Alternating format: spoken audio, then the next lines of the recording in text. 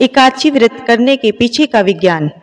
एकादशी व्रत के पीछे का विज्ञान इस बीच आधुनिक विज्ञान के अनुसार।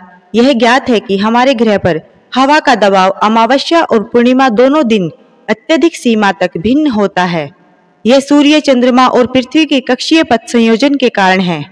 इसे अमावस्या और पूर्णिमा के दिनों में जवारीय रंगों की प्रकृति में परिवर्तन से देखा जा सकता है। लहरें बहुत ऊँची और खुरदरी होती हैं। लेकिन अगले दिन से लहरें शांत हो जाती है, जो इस बात का संकेत है कि दबाव भी कम हो गया है।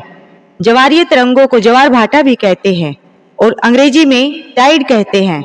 अब इस तथ्य के आधार पर एकाची व्रत का महत्व दो प्रकार से बताया जा सकता है। पहला, विज्ञान के अनुसार, आज हम जो भोजन करते हैं, उसे मस्तिष्क तक पहुँचने में लगभग तीन चार दिन का समय लगता है।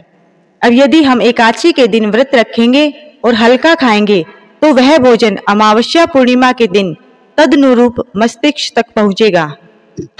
इन दोनों दिनों में पृथ्वी का दबाव अपने अधिकतम स्तर पर होता है, जिससे हर चीज़ में असंतुलन पैदा होता है, जिसमें विचार प्रक्रिया भी शामिल है। इसीलिए यदि मस्तिष्क को कम से कम इनपुट दिया जाता है तो उच्च दबाव के असंतुलन के कारण मस्तिष्क के किसी भी तरह की गतिविधि में लिप्त होने की संभावना भी न्यूनतम हो जाती है। दूसरा एकाची व्रत की व्याख्या।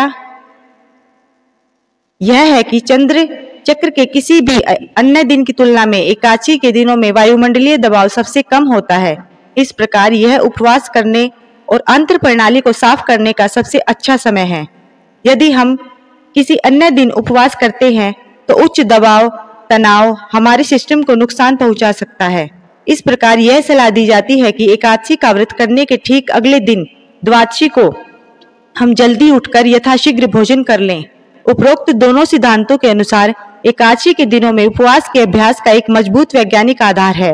व्रत रखने वाले लोगों को सभी प्रकार के अनाज से दूर रहने और नट्स, दूध, फल आदि का हल्का आहार लेने के लिए कहा जाता है। उपवास व्यवस्था को विश्राम देता है। आहार में थोड़ा अधिक खाने या अंधाधुंध होने के कारण शारीरिक प्रणाली पर अत्यधिक काम हो सकता है। इस प्रकार एकादशी का व्रत तंत्र को पकड़ने का मौका देता है। हम जानते हैं कि पाचन तंत्र रक्त परिसंचरण को पाचन अंगों की ओर खींचता है। इसीलिए भोजन करने के बाद सिर में रक्त संचार कम हो जाता है, इसलिए हमें नींद आने लगती है। इस प्रकार एकाची का पालन हमें अधिक सतर्क, तेज, केंद्रित और अधिक जागरूक रखते हुए हमारे मस्तिष्क और दिमाग को रिचार्ज करने में मदद करता है। पाक्षिक एकादशी उपवास, स्वस्थ भोजन के साथ इंसुलिन प्रक्रिया में सुधार करता है। रक्त कोलेस्ट्रॉल कम करता है और जीवन काल बढ़ाता है। यह चिंता और अवसाद से पीड़ित लोगों की मानसिक स्थिति में सुधार करने में मदद करता है।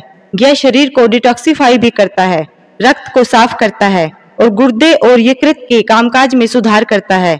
यह आश्चर्यजनक है कि प्राचीन वैदिक भारतीयों ने खुद को फिट और किसी भी नकारात्मक प्रभाव से मुक्त रखने के लिए इस पद्धति को कैसे बनाया। धन्यवाद। यदि आपको मेरी जानकारी अच्छी लगी हो तो वीडियो को लाइक करें और चैनल को सब्सक्राइब करें। धन्यवाद।